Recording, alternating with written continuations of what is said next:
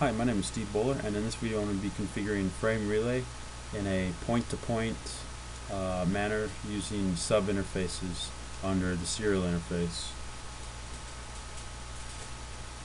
So what we want to do here first is let's go ahead and uh, build our network topology.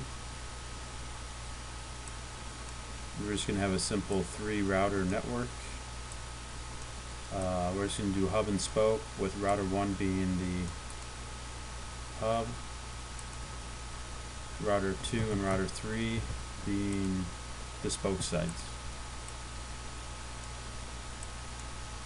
Okay, so what I'm going to do is I'm going to go ahead and uh, make use of the frame relay switch connection over here. Just drag and drop it over. And what I'm going to do here is build a sub interface between R1 and R2. Three, and R1 and R2.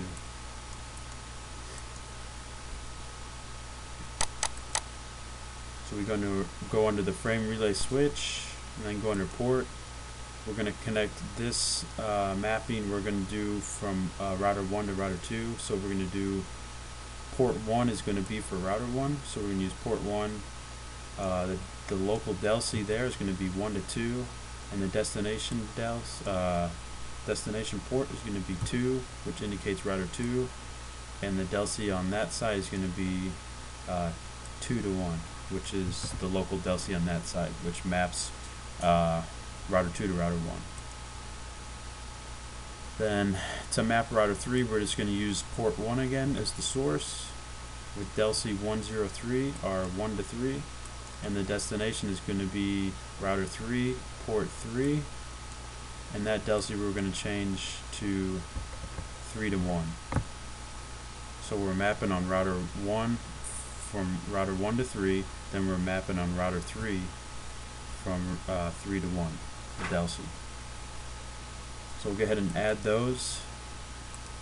Go ahead, and hit OK.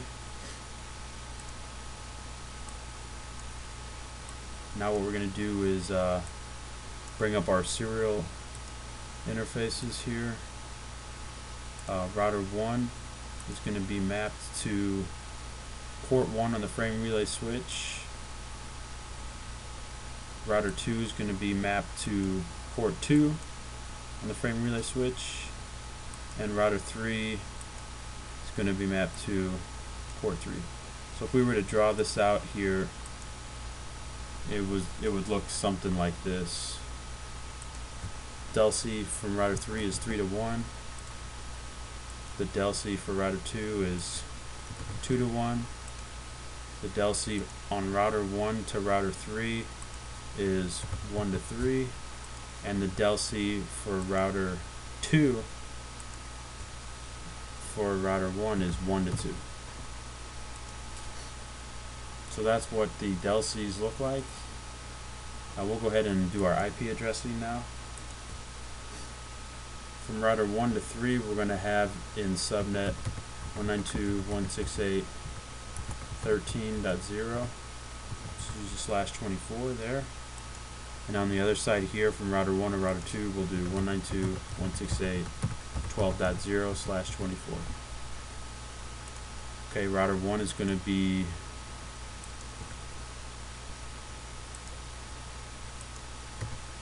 the dot 1 router 2 is going to be dot 2 IP address and router 3 is going to be the dot 3. Alright, so that's what our topology looks like. We need to go ahead now and start the routers.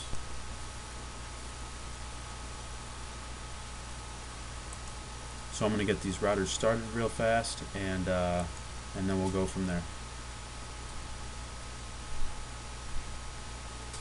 Okay, so now you can see here I, uh, I got all three of my routers uh, up and running and named.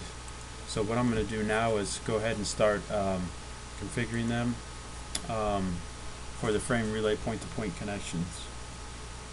Um, so let's go ahead and start with, we'll go ahead and start with uh, router 1. Uh, we're going to go under the uh, serial interface uh, which is 010. We're going to set it for encapsulation frame relay. And then what we're going to do now is we're going to go ahead and create sub interfaces. Um, and that's different than what we did in the static mapping uh, frame relay lab that we did, uh, which is our, my frame relay lab one. So what we're going to do now is uh, we're going to go ahead and do uh, uh, interface serial 1, 0, and then we're going to go ahead and do uh, dot 1, 2, which signifies uh, from router 1 to router 2. So we're going to use that, and then we'll go ahead and hit spacebar and question mark, and you see here we have uh, multi-point mode and point-to-point. -point. Uh, what we're going to do is point-to-point -point in this lab. Uh, in the next lab, uh, I'll show you how to configure uh, a multi-point uh, frame relay network. So we'll go ahead and go ahead and go interface serial 1, 0, dot 1, 2, and then we'll do point-to-point. -point. Then you can see here now that instead of being in interface configuration mode, we're now in the sub-interface configuration mode on serial 10. Now, what we want to do here first is what I usually do is I specify my IP address. So this is the connection from router 1 to router 2, so we're going to be in the subnet 12. So we'll go back under here and do IP address 192.168.12.1, which is the local IP and then the network which is going to be 255 255 255 0 and our next command is what we're going to use here is frame relay and then before where we used the map IP and where we mapped it out and we put in the IP address of the other side uh, just like you would like in a static route.